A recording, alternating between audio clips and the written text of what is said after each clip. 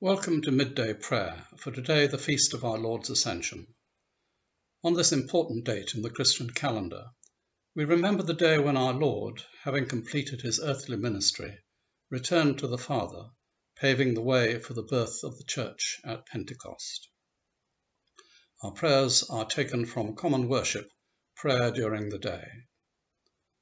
O God, make speed to save us. O Lord, make haste to help us a hymn of praise to God, the Creator of heaven and earth. Blessed are you, the God of our ancestors, worthy to be praised and exalted for ever. Blessed is your holy and glorious name, worthy to be praised and exalted for ever. Blessed are you in your holy and glorious temple, worthy to be praised and exalted for ever. Blessed are you who look into the depths worthy to be praised and exalted for ever.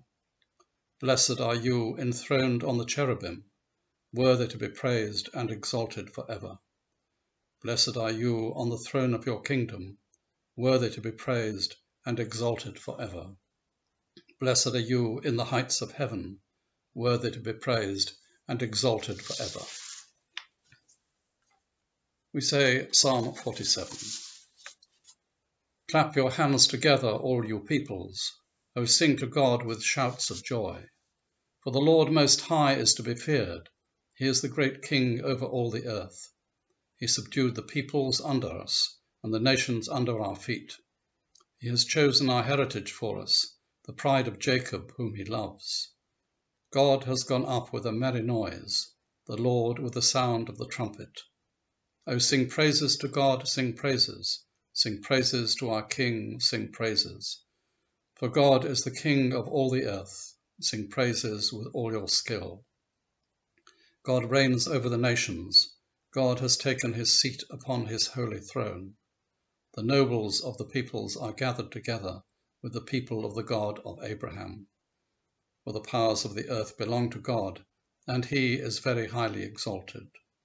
Glory to the Father, and to the Son, and to the Holy Spirit, as it was in the beginning, is now, and shall be for ever. Amen. A reading from the Acts of the Apostles. When Jesus had said this, as they were watching, he was lifted up towards heaven, and a cloud took him out of their sight. While he was going, and they were gazing up towards heaven, suddenly two men in white robes stood by them.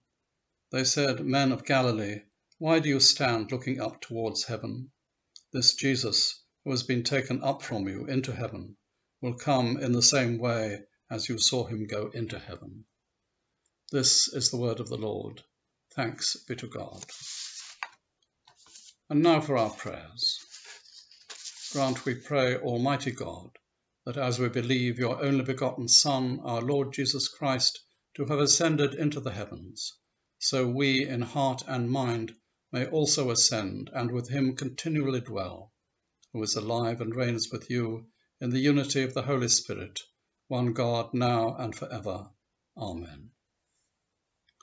And as we remember the day of our Lord's most glorious ascension, let us call to mind the mission that we have been given to bring the gospel to all nations and to strive for the welfare of those less fortunate than ourselves.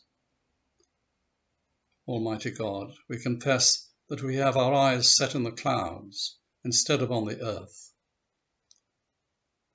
We desire heavenly treasure, but we keep believing that worldly means will help us attain it. Forgive us for our short sightedness. Draw us away from the temptations to seek worldly power and measures of success, and call us to the down to earth message of your love, to care for the needs of those around us especially the oppressed and marginalized. You have called us through Scripture to care for the widows and orphans among us. Help us to see all those who are left out by society and are in need. Help us to break down the dividing walls that we have placed, so that we may truly be one, as you and Christ are one. For it is in Christ's name we pray. Amen. Finally, we say the prayer that Jesus himself taught us Our Father, who art in heaven, hallowed be thy name. Thy kingdom come, thy will be done on earth as it is in heaven. Give us this day our daily bread, and forgive us our trespasses, as we forgive those who trespass against us. And lead us not into temptation, but deliver us from evil. For thine is the kingdom, the power, and the glory, for ever and ever. Amen. And so may God kindle in us the fire of love. Amen.